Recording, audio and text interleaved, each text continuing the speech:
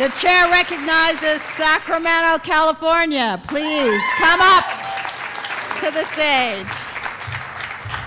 Good morning, everybody. How are you this morning? All right. So uh, one thing I want to start with is that you know a lot of you were here on Friday and got to see Mayor Johnson, um, or got to hear and see him speak. And I think that one thing that I've noticed that is uniting us all here today is vision. None of this starts without great vision. And Ralph Smith and the Annie Casey Foundation and the team that he's put together there got together with you know the, the, Gloria Rubio Cortez over here, and they have excellent vision. They all brought us here under that one common vision. So I want to thank them first of all. In Sacramento, I'm lucky enough to work for someone that is also an amazing visionary. And Mayor Johnson has laid out an incredible vision for us to get all of our third graders reading on grade level by the end of third grade by 2020, and we're going to do it.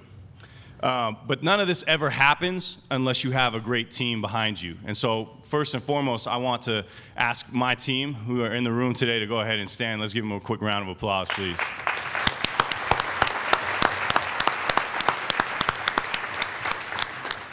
They represent a really, really small part of our team. And today, what I want to express is that we carry the hearts and minds of everybody in Sacramento along with us. And, and our team extends well beyond just the few of us that you see in the room today. We have partners in, in every sector of the community, from local businesses like Old Soul, um, corporations like Wells Fargo, to local foundations like the Sierra Health Foundation, our school districts, um, churches, and community volunteers have gotten involved. So at every level of Sacramento, people are jumping on this bandwagon to fight for early literacy. And I think that one way that we, we look at ourselves in Sacramento is as pioneers. You know, the gold rush is what put Sacramento on the map in the, in the mid 1800s. And at one time, Sacramento was the most important city in, in California, if not in the entire western United States. The Transcontinental Railroad ended there, and it was, it was a destination place. And we want to put Sacramento back on the map again. Right now, two thirds of our kids in third grade are not reading on grade level. Two thirds cannot read on grade level. In California, we educate one out of every eight children in this country. So for that to be the case in the, in the state's capital is absolutely unacceptable and ridiculous, and we're going to make sure that it doesn't continue to happen.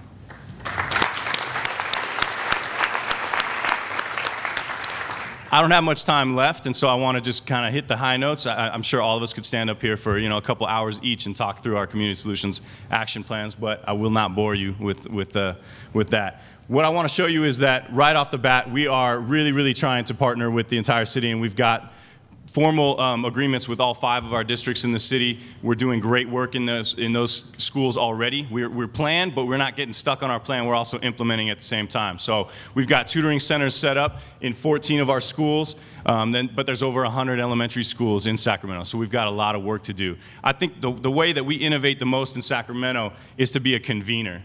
Um, and so I wanted to share with you really quick one example of how we're convening. We've gotten local businesses like Old Soul Coffee Company to come in and adopt a local school called Peter Burnett.